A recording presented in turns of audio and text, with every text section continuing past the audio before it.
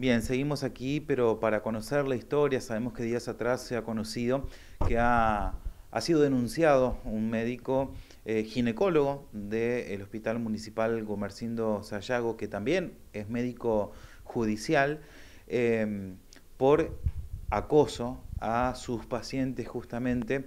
De hecho, el mismo municipio ha se ha presentado como querellante, ha presentado una denuncia y ha presentado como querellante en la causa que investiga la doctora Jorgelina Gómez a cargo de la Fiscalía número 3 eh, para determinar justamente el grado de responsabilidad y cuál es el delito justamente que se le imputa a este médico por estos actos totalmente abusivos que ha tenido para con las víctimas. Y por eso nosotros estamos aquí con dos de las víctimas, una de ellas que es la chica embarazada con la que, se animó a denunciar por primera vez.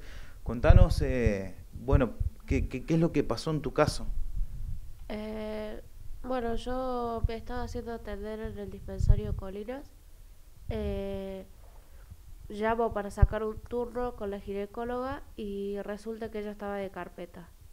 Eh, pregunto si había para otro ginecólogo y lo, el único que me ofrecieron fue turno con él el lunes el lunes a las 3 de la tarde.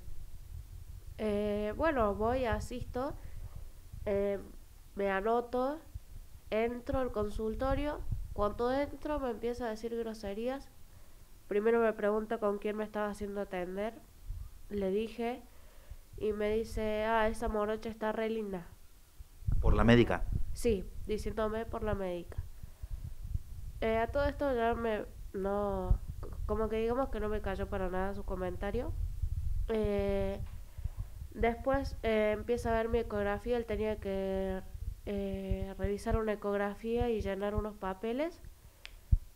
Cuando ve la ecografía, ve los papeles, me dice que, que iba bien el culiadito refiriéndose a mi hijo.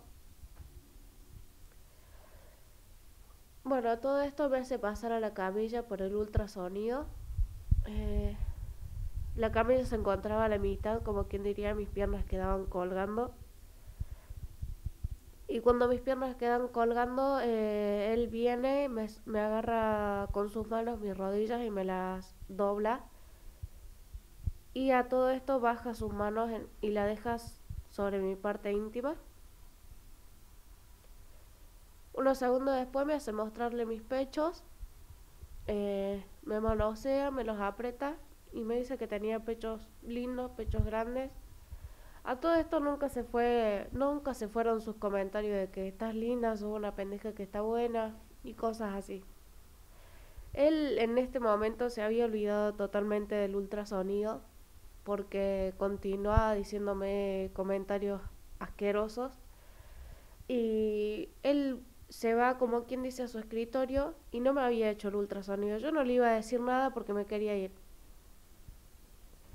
Cuando se da cuenta, eh, me dice, ah, no te hice el ultrasonido. No, no te hice el ultrasonido, me dice. Y volvió a hacérmelo y me dice, me hizo el ultrasonido, me pasa su mano por mis, mis piernas eh, me pasa su mano en mi panza, en mis pechos y me dice que, que me ponga crema seguido. Porque era una pendeja que era chica y que iba a volver a tener mi cuerpo, que, que era una morocha que estaba linda. Él desde un principio me dijo que era una pelotuda por haberme quedado embarazada y en ese momento me pregunta si yo venía acompañada, a lo que yo le respondí que sí, que venía acompañada, que estaba mi pareja afuera. Y me pregunta por qué no lo hice pasar, yo le comento que por los protocolos de COVID no lo hice pasar. Y me dice, ah, bueno, mejor que no haya pasado. Bueno, eh, a todo esto me levanté de la camilla, agarré los papeles y salí afuera a buscar a mi pareja llorando. A todo esto no podía parar de llorar para contarle. Cuando paro de llorar le cuento y él, eh, bueno, en ese momento no sé, pasaron muchas cosas, pero en ese momento él me dice, vamos a pedir el libro de quejas, pedimos el libro de quejas, eh, firmamos el libro de quejas, nos atendieron re bien del hospital también. Y a la noche como que ya se me habían ido las ganas, como que empecé a sentir miedo y no quería hacer la denuncia. y finalmente a la, a la noche, eso de las 9 de la noche, me decidí y fui a hacerla. Eh, me imagino que, bueno, toda una decisión, eh, o sea, importante y, muy debatida, ¿no? También porque, eh, por los miedos que contabas también fuera del aire, ¿no? Y sí, sí, la verdad que sentía mucho miedo, sentía miedo de, de que, porque es un doctor, o sea, es la típica de que es un doctor, eh, tiene poder, que digamos, y pero en ese momento cuando llegué a hacer la denuncia no me importó nada y lo único que quería es que no le pase a nadie más lo que me pasó a mí, porque fue horrible, fue horrible y no se lo deseo a nadie. Bueno, y gracias a la denuncia de ella, eh, comenzaron a aparecer también otros, otros casos de mujeres que también habían sido atendidas por este médico eh, y que, bueno, en su momento no se habían animado a denunciar. Eh, primero te preguntamos el por qué y cómo fue tu caso, ¿no?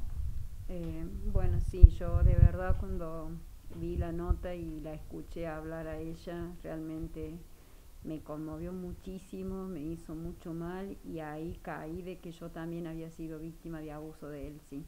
Por eso es que tomé la decisión y tomé el coraje que yo no tuve en su momento, porque yo tuve cuatro consultas con él.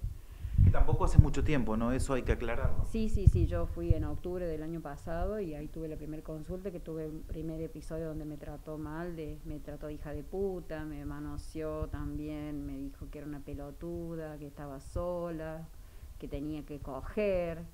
Eh, bueno, así, con esos términos. Con esos términos, sí, sí, con esos términos, así, manoseándome todo el tiempo, todo el tiempo, por un dolor de cabeza fui yo nada más y, terminé manoseada de él por todos lados, sí. Este, y bueno, yo salí de ahí también del hospital la primera vez que fui. Eh, salí muy helada, digamos, sin entender por qué atendía así este médico, pero yo llamé al 147 para pedir otro médico y me dijeron que no había, que estaban de licencia, que venían las vacaciones, entonces por eso es que tuve que bancarme las cuatro consultas restantes yo y pasar todo este episodio, porque lo volvió a repetir, obviamente.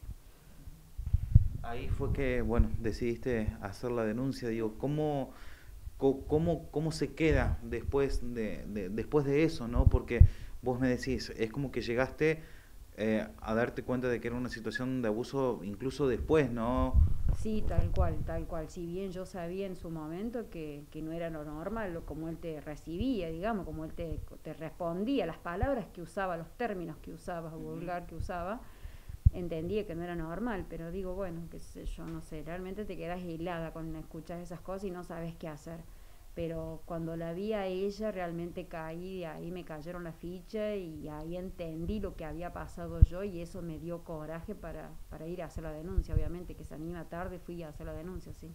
¿Han aparecido más casos? Sí, de hecho tenemos un grupo de WhatsApp, eh, lo, lo hice de que muchas chicas me hablaron para que las acompañe a hacer la denuncia eh, las acompañé y bueno, se nos dio la idea de crear un grupo y sí, somos seis chicas hasta ahora las que denunciamos, siete con el caso de ella. Ya con eh, denuncia formal en, en, la unidad judicial, ¿no? Sí, sí, sí. Eh, de hecho falta una que es de Córdoba, vivía acá en Carlos Paz y va a venir de Córdoba para hacer la denuncia. ¿Qué es lo que piden ustedes en este caso? justicia, justicia que pague lo que tenga que pagar, que esté preso, eso, eso quiero que esté preso, porque él todavía está en su casa, muy pancho en su casa, mientras nosotros padecemos por todo lo que hemos pasado, sufrir con tratamiento psicológico, porque aunque no lo crean, es horrible y lo tenemos que tratar, porque es una carga que tenés, que te queda encima, una mancha que te queda, que no se sale fácilmente. Entonces lo que queremos es justicia, que se haga justicia y que ese tipo esté bajo, tras reja como corresponde. Eso es lo que quiero. ¿Te han dado asistencia a vos? Sí, sí, yo estoy con tratamiento psicológico porque no me pesa muchísimo, no puedo dormir, de solo acordarme, de solo pensar por todo lo que he pasado y por tantas víctimas más que pasaron y que eh, pasaron lo mismo que nosotros, que por favor no haya más gente así, monstruo, porque es un monstruo, porque eso no es un médico.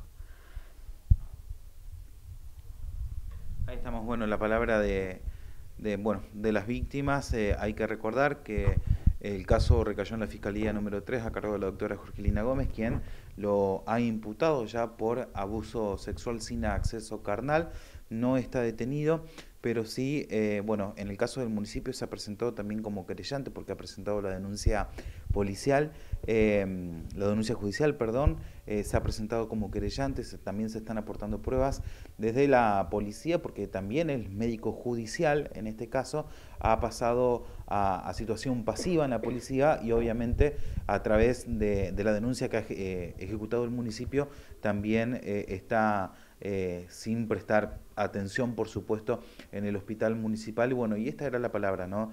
De, las víctimas que, que, bueno, contaron cómo, cómo fue para ellas vivir esto, que es un episodio totalmente horroroso, a donde se supone que una persona que, que las tiene que cuidar, que las tiene que asesorar sobre su salud, bueno, termina abusando de ellas. Seguimos con ustedes.